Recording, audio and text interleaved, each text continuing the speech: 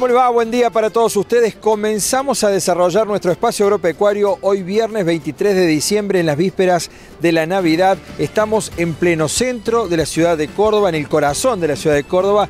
Eh, nos acompaña Ana Clara Rod. Estamos en, la, en el stand de la Bolsa de Cereales de Córdoba que ha puesto aquí muy cerquita del patio Olmos. La bolsa sale a la calle. Contanos de qué se trata.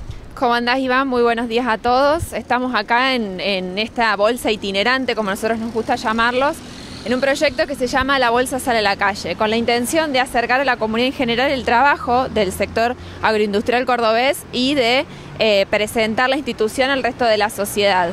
Eh, este proyecto puntualmente, como decimos, es una mini bolsa que va a estar dando vueltas por la ciudad y el interior eh, provincial, con qué estamos presentando acá, además de los servicios que ustedes pueden encontrar, asesoramiento, toda la información del Departamento de Información Agroeconómica que tiene la bolsa y varias herramientas educativas para toda la familia. Los chicos ya están de vacaciones, así que también los invitamos tenemos dos herramientas. Por un lado, el videojuego educativo, mini productores, donde los chicos aprenden eh, cómo es el, procedimiento que siguen los productos que a lo mejor consumen diariamente en su mesa desde eh, la producción, cómo cuidarlos y ver cómo ese producto luego lo, consumimos. Ana, ya me seguís contando. Presentamos las siguientes noticias en este micro agropecuario de Tele 8.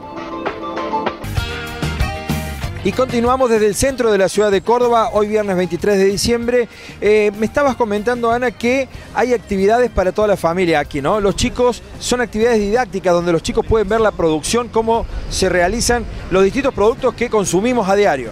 Así es, Iván. Como te comentaba, tenemos dos herramientas educativas directamente destinadas para los más pequeños de, la familia. El videojuego educativo llamamos mini productores, donde ellos juegan de una forma didáctica a ser productores y luego decidir qué van a hacer con su producción, en qué la van a transformar y eh, de esa forma, en una forma entretenida para ellos, aprenden cuáles son los diferentes eslabones de la cadena agroindustrial. Y además los que vengan a visitar hoy durante todo el día también, porque han estado toda la semana, pero hoy viernes hasta la tarde pueden darse una vuelta aquí por el centro de la ciudad de Córdoba, se pueden llevar un regalito.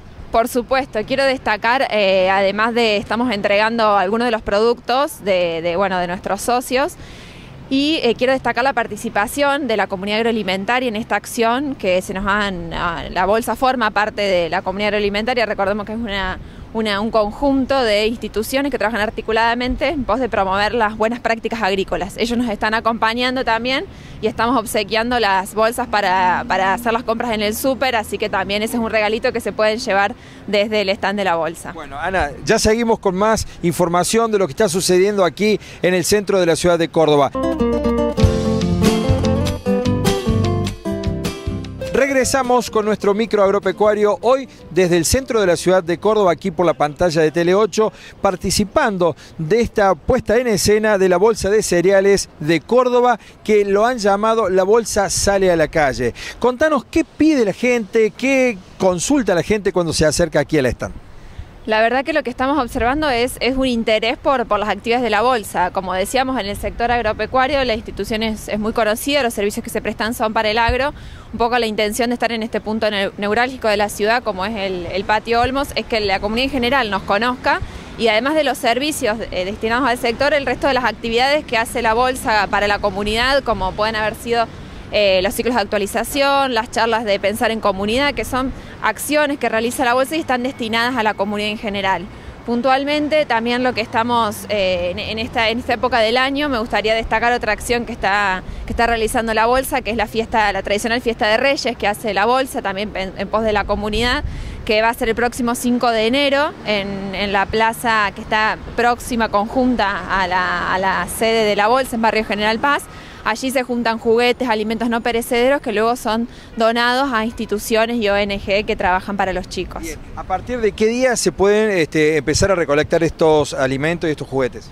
Ese mismo día, a partir de las 18 horas, eh, se va a hacer la colecta general, pero a su vez va a estar eh, durante todos estos días en la sede de la bolsa. Se pueden acercar eh, si tienen juguetes o alimentos en Boulevard Ortiz de Ocampo 317. Ahí pueden ir a acercar el horario de 8 y 30 a 17 y 30. Y de esta forma hemos llegado al final de nuestro espacio agropecuario aquí en la pantalla de Tele 8 en las vísperas de Navidad. Así que queremos agradecer a todos ustedes por habernos acompañado durante esta semana, pero antes queremos cerrar este espacio con Ana Clara que nos ha recibido aquí en el centro de la ciudad de Córdoba. ¿Cómo sigue esto? ¿A dónde van a partir del año que viene con este stand? El año que viene, como, como bien decís Iván, la idea es de esta bolsa itinerante acercarla no solo a la ciudad, sino al interior de Córdoba. La primera parada, eh, como bien dijimos, fue el Patio Olmos. En el mes de febrero, como tradicionalmente participa la bolsa en la Fiesta Nacional del Trigo en, la ciudad de Leones, así que seguramente estaremos ahí en febrero con eh, toda la información y acercando esto que, que decidimos llamar la bolsa Sale a la Calle con información del sector agroindustrial cordobés. Y la idea es transitar durante todo el año por distintos lugares, ¿no? Exactamente, algunas en exposiciones más importantes que se realicen, algunas son en Córdoba, otras en, a lo largo del territorio nacional, pero bueno, la principal atención va a estar puesta en el territorio provincial, en las localidades, así que bueno, eso lo iremos publicando en una grilla de eventos desde nuestra página web www.bcca.com.ar y ahí se para poder ir enterando dónde va a estar la bolsa itinerante. Exactamente. Ana Clara, muchísimas gracias. Gracias por recibirnos tan atentamente aquí en este stand en pleno centro de la ciudad de Córdoba y en nombre tuyo quiero que este, para toda la bolsa de cereales, todos los productores, que tengan excelentes navidades en familia, con mucha paz. Igualmente para vos y para todos los que nos están viendo, que tengan unas felices fiestas.